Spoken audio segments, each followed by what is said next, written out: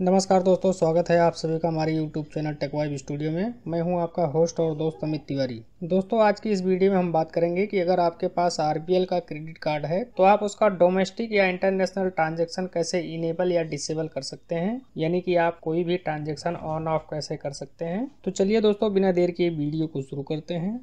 Video शुरू करने से पहले दोस्तों, मेरी आपसे रिक्वेस्ट है, अगर आप मेरे चैनल पर नए हैं तो फटाफट से चैनल को सब्सक्राइब कर लीजिए और इसके साथ ही साथ बेल नोटिफिकेशन को भी ऑल पे सेट कर लीजिए, ताकि मेरे आने वाली वीडियो की नोटिफिकेशन आपको सबसे पहले मिले।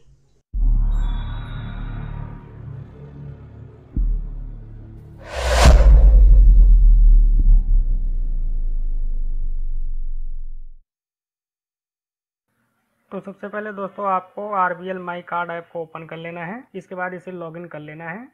तो लॉगिन करने के बाद दोस्तों, इस तरीके से ये ऐप ओपन हो जाएगी। यहाँ पर ऊपर आपका टोटल आउटस्टैंडिंग अमाउंट दिख जाएगा। अब लेवल क्रेडिट लिमिट कितनी है, वो भी आपको दिख जाएगी। साथ ही साथ यहाँ पर दोस्तों, आपका स्टेटमेंट का आउटस्टैंडिंग अमाउंट जो है, वो दिख जाएगा। मिनिमम ड्यू कितना है, वो भी दिख जाएगा। और आपकी पेमेंट की ड्यू डेट कब है, वो भी आपको यहाँ पे दिख जाएगी। इसके बाद दोस्तों, यहाँ नीचे आपको माई अकाउंट पे क्लिक कर लेना है, इस वाले पे। इसके बाद दोस्तों, यहाँ पे आपको सेटिंग का ऑप्शन दिख जाएगा। ये वाला, इस पे आपको क्लिक कर देना है। सेटिंग पे क्लिक करने के बाद दोस्तों, यहाँ पर आपको तीसरे नंबर पर कंट्रोल योर लिमिट का ऑप्शन मिल जाएगा। इस पे क्लिक कर लेना है। इसके बाद दोस्तों, आपको थोड़ा सा नीचे जाना है। और यहाँ पर दोस्तों, आपको डोमेस्टिक ट्रांजेक्शन और इंटरनेशनल ट्रांजेक्शन दिख जाएगा।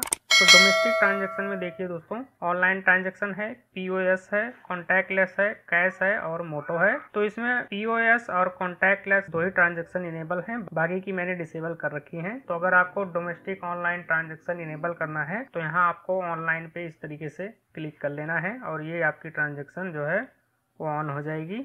इसके बाद यहाँ से सेव चेंजेस पे क्लिक कर देना है। और अगर आपको इंटरनेशनल ट्रांजेक्शन इनेबल या डिसेबल करनी है तो आपको इंटरनेशनल पे इस तरीके से सेट कर लेना है पहले। इसके बाद आपको इंटरनेशनल ट्रांजेक्शन की जो भी सर्विस ऑन या ऑफ़ करनी है, वो आपको यहाँ से सिलेक्ट कर लेना है। फ़िलहाल मैंने सारी ऑफ़ कर रखी है। तो अगर आपको ऑनलाइन ट्रांजेक्शन ऑन करनी है तो यहाँ ऑनलाइन ट्रांजेक्शन पे इस तरीके से क्लिक कर लेना है। इसके बाद यहाँ नीचे आपको सेव चेंजेस लिखा हुआ दिख जाएगा। आपको इस पर क्लिक कर देना है इस तरीके से।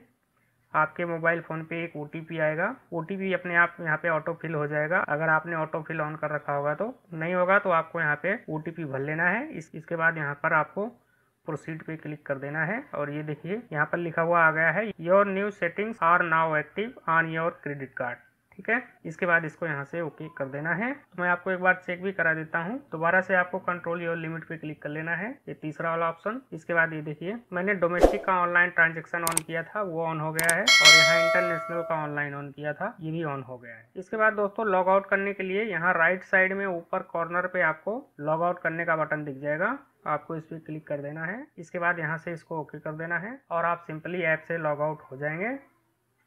तो इस तरीके से दोस्तों आप आसानी से अपने मोबाइल फ़ोन के माध्यम से अपने आर क्रेडिट कार्ड की डोमेस्टिक और इंटरनेशनल ट्रांजैक्शन को ऑन ऑफ़ कर सकते हैं। दोस्तों, वीडियो अगर अच्छी लगी हो तो वीडियो को लाइक और चैनल को सब्सक्राइब ज़रूर करें और वीडियो को अन्य लोगों के साथ भी शेयर करें ताकि और लोगों को भी जानकारी मिले। मिलते हैं दोस्तों किसी अन्य वीडियो में किसी दूसरे टॉपिक के साथ। नमस्कार।